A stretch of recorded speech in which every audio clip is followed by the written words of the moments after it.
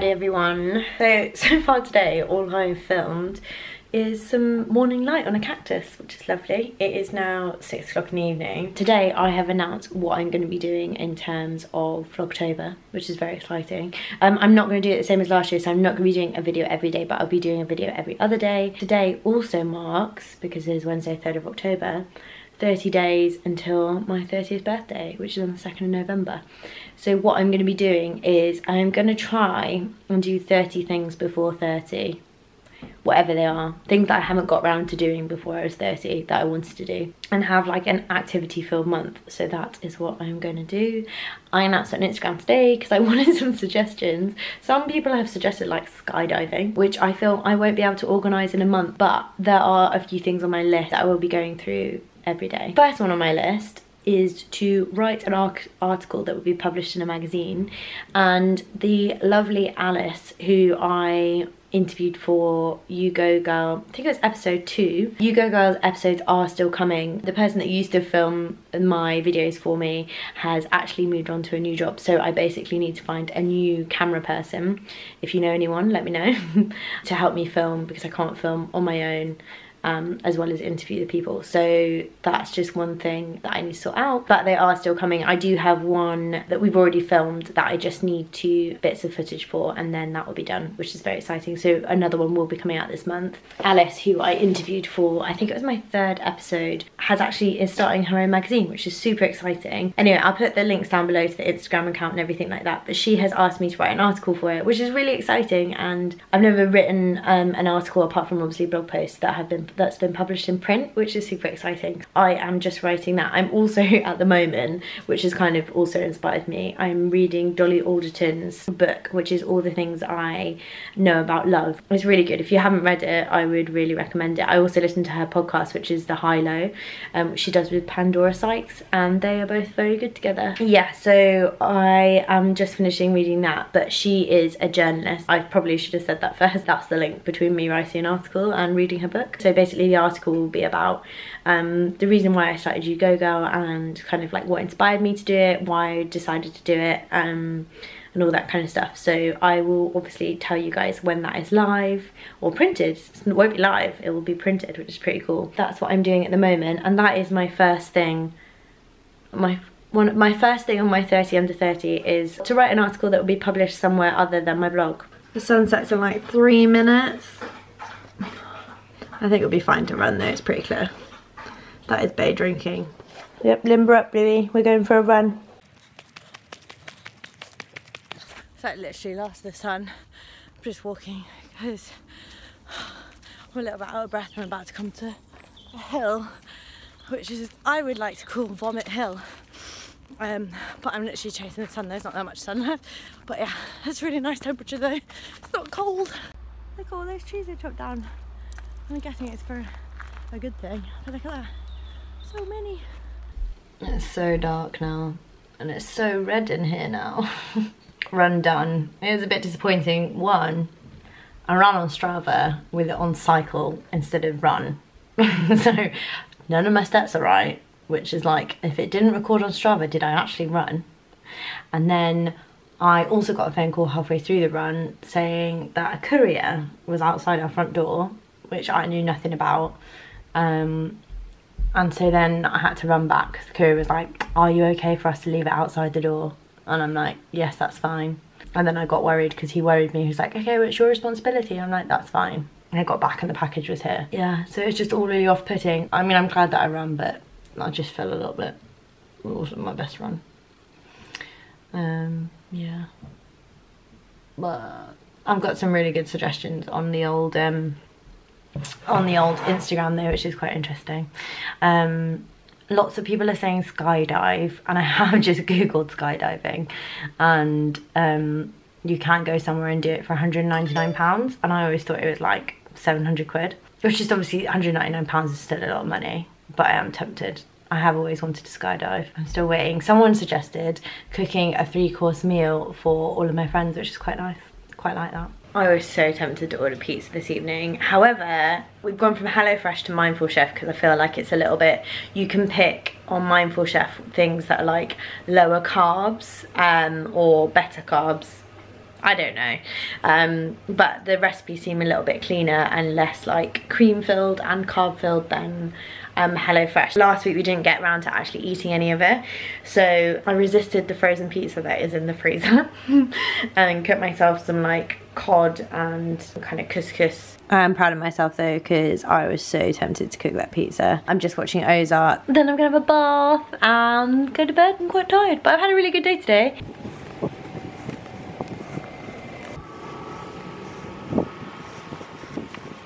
Morning everyone. Day two of me filming 30 things before 30.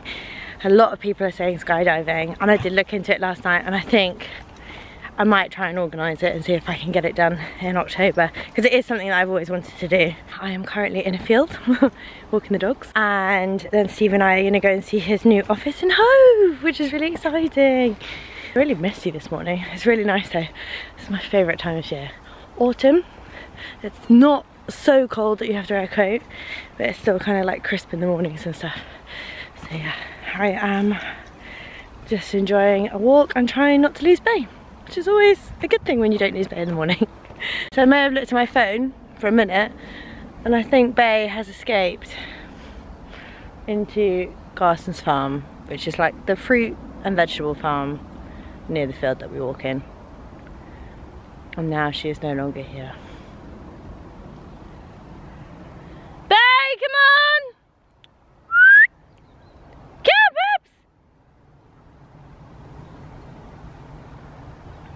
I haven't got time for this today.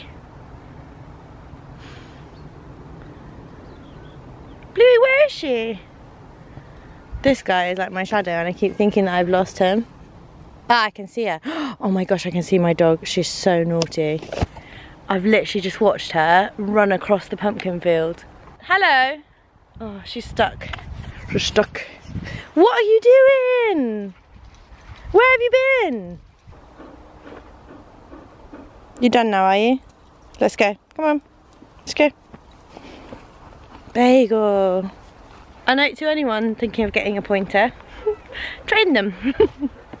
she's really well trained in the house and she's normally alright but some days she'll just decide to piss off and go and get a squirrel. and that apparently was today.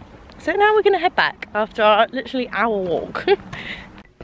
Okay, so today has mainly consisted of going over to my friend Lydia's house and helping her prepare for her daughter Hetty's birthday party on Sunday, which I managed to rope in my friend Daisy and I to be Anna and Elsa from Frozen or appear as Anna and Elsa from Frozen at the party which is one of my 30 under 30s because I've never appeared at a children's birthday party as a Disney princess so I will be ticking off one of my 30 under 30s on Sunday. What's quite funny is my friend Daisy, she was like, you said yes and I didn't even I didn't even agree to it. You didn't even like chat to me about it. So yeah, so I just went over there today to try on the costumes, which fits very nicely. They're lovely.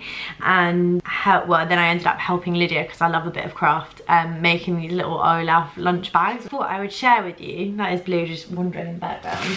I'm doing a blog post in conjunction with Debenhams. This isn't sponsored. Basically, Debenhams got in contact with me and said, oh, we're doing like an autumn winter um, campaign. And they, so they've gifted me me some clothes in return for a blog post basically but I thought I'd share with you so they just they gave me a voucher to use online I actually ordered this at 8 o'clock yesterday evening at Steve's new office and um, it arrived at like 11 o'clock this morning so the first thing which reminds me of um, is it the Loewe jigsaw bag or puzzle bag so this one is Ellie and it's like I think they call it a bowling bag and basically it's like a scrunchy little black handbag which is really nice. Basically I've got like shoulder bags um, which are like small little holiday travel bags because I've got that Oroku bag but I don't have a bag that I can like chuck everything in during the day and it will like go over my shoulder but it also fits quite a lot in. Um, so it looks like that on the inside and they've got like a little inside pocket bit for your phone. I also thought this pocket at the front would be really good for um, sticking your phone or your wallet in the front so it's kind of like easily accessible. But it looks like this. I just think it looks a little bit i don't know how to pronounce the name but it looks a little bit like that puzzle bag. And you can obviously hold it like this or have it across your shoulder which i think is really nice. It was pretty chuffed when i found that because obviously i cannot afford the other designer bag what else i get. So this i think these are the boots. Are these the boots? Oh here's the boots! Okay, so these brown boots are J by Jasper Conran. They do them in black and they do them in bright red, but they're sold out in black in my size. So I decided that I would go and try something different and try a brown boot. Just because I think that I would still wear them. And I've got quite a few black boots at the moment, but I don't have like a really smart um, brown boot. These are £85, but i I wear boots to death in autumn and winter. Um, and I just thought they were a really nice kind of like cool um, boot that you could wear out to like drinks with your friends and they've still got a bit of a heel but you could wear it during the day as well. So I hope these fit. Let me just try, let me just try one on. Um, also I'm really sorry, there is like packages all over the lounge. Okay. Oh yes. Thing is, I'm a four and a half, right? They look like this. Oh, they're really nice. Um, I'm a four and a half, but I always go, I always size down to a four because um, fives are just a little bit too big for me. When I was a teenager, I always went for a size five and I realised that half of my teenage shoes were half a size too big for me. So um, yeah, now I size down, but they're really nice. Also they go, like because they've got the black there, they go really nicely with black. Um, I'm in like a no makeup slouchy clothes day. I'm quite happy with the brown actually. I think it's a little bit different. Um, it almost makes them look a little bit vintagey because like nowadays everything's quite black. They are £85 but I feel like I feel like with boot like I've bought boots from COS and they've been like £110 but I wear them like season after season. Um, yeah and they're really nice kind of like croc effect leather and they smell like leather. Um, and then this one which I'm quite excited about. You know the trend that's like teddy coats? I think they're called teddy coats. Um, I was looking through all of the ones on the Debenhams website and I, I decided on a kind of like actual tan colour because I thought it would be a bit more interesting. I've obviously got black clothes. which literally like you are a teddy bear. Hello. My problem is I'm quite short. Let's try this. So this is Red Herring, which I think is only a brand on Debenhams, on the Debenhams website. And it's £69, which is quite good for a coat. Oh, it's so soft on the inside. Okay. Oh. Okay, so it looks like this. I quite like it. I'm worried it makes me look a bit bulky, but I think because I've got a bulky um, a bulky thing on. That's my phone. I'm going to shoot a blog post this weekend um, for it and then it'll be up on my blog next week. I'm really happy with those. I think I'm happiest with the bag and the boots. Um, but I am super chuffed by the coat. I think I'm going to try the coat on when I'm not wearing like folded sleeves like this. It's quite nice when a brand approaches you and says, would you like to pick some items? Because they're items that I would have picked anyway, if that makes sense. 30 things before 30 is going well. However, I think I'm overestimating or underestimating. I think I'm underestimating the amount of time it's actually going to take me to do everything. All of the 30 things are under 30. So like some of them are really like little. Like obviously like the children's birthday party entertainment will be really funny on Sunday. And that's little, but it's going to be funny. It's going to be something that I haven't done before. Um, I'm getting a new piercing next Friday, which is very exciting. I managed to convince my brother's girlfriend Kelly and my mum to come along with me. So they're also going to get piercing so group piercing in the family. And then on um, this weekend I'm gonna have to start doing stuff. I think on Sundays I'm just gonna have to plan it out and like do double things. Like I really wanna go on the um, orbital like Helter Skelter which is like part of the Olympic Park basically I think I've underestimated how much time it's going to take me to do everything. I'm going to attempt it. I think I'm going to have to be doing some like two for ones in some of the days otherwise I'm just not going to make it. I spent all day yesterday at Steve's new office which is very exciting. Just hung out with everyone there which is really nice. Um, I didn't really feel like I needed to vlog. Also, I was on my computer doing other stuff on other work. I will catch up with you guys in a bit.